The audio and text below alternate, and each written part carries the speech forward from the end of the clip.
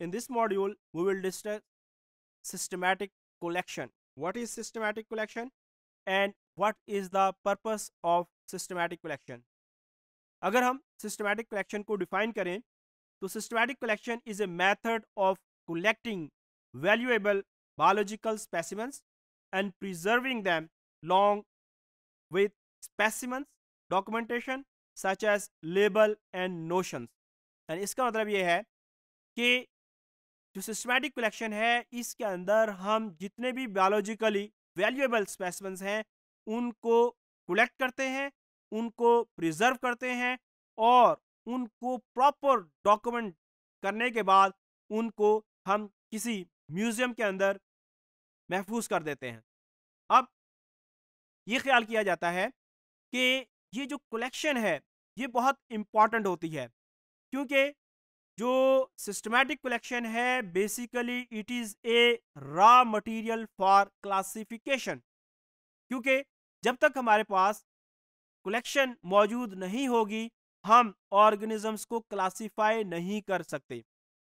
इसी तरीके से जो अर्थ बायोडाइवर्सिटी है, उसका रिकॉर्ड रखने के लिए कि हमारे इलाके के अंदर कौन कौन सी स्पीशीज मौजूद है, उस इलाके की जो स्पीशीज है, उनको हमें डॉक्यूमेंट करना पड़ेगा, उनका रिकॉर्ड मेंटेन करना पड़ेगा। इसी तरीके से इनिशियली ये ख्याल किया जाता था कि जब किसी एरिया से ऑर्गेनिजम्स को कलेक्ट किया जाता था, फॉर एग्जांपल इंसेक्ट्स की जब कलेक्शन की जाती थी तो अगर जो नंबर ऑफ़ स्पेसिमेंस थे वो ज़्यादा होते थे तो ये जो ज़्यादा स्पेसिमेन थे इनको डुप्लीकेट कंसिडर किया जाता था इनको एक्स्ट्रा कंसिडर किया जाता था। लेकिन बाद में ये पता चला कि बेसिकली किसी भी इंडिविजुअल्स के अंदर जो करेक्टर्स हैं, उनके अंदर वेरिएबिलिटी मौजूद होती है। अगर हम इन करेक्टर की वेरिएबिलिटी को स्टडी करना चाहते हैं तो उसके लिए हमें एडिक्वेट सैंपल ज़रूरी है।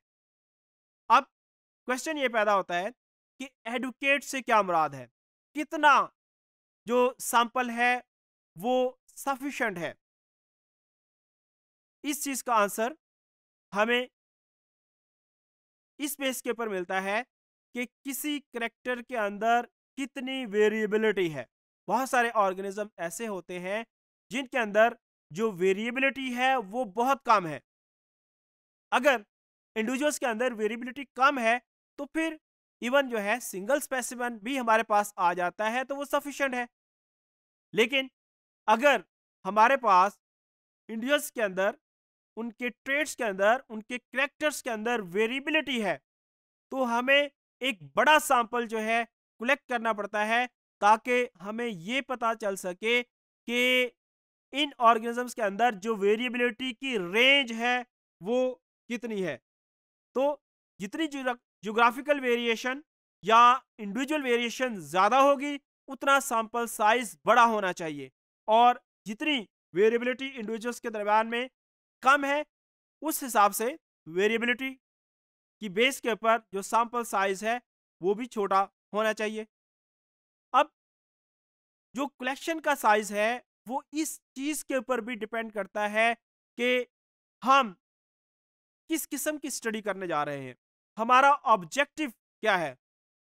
अगर हम ये चाहते हैं कि इंडिविजुअल्स के अंदर हम करेक्टर्स के अंदर वेरिएबिलिटी को फाइंड करें, हम उसके कलर वेरिएशंस को स्टडी करें, हम उनके अंदर पॉलीमॉर्फिज्म को स्टडी करें तो इस चीज़ के लिए हमारा जो सैंपल साइज़ है वो बड़ा होना चाहिए।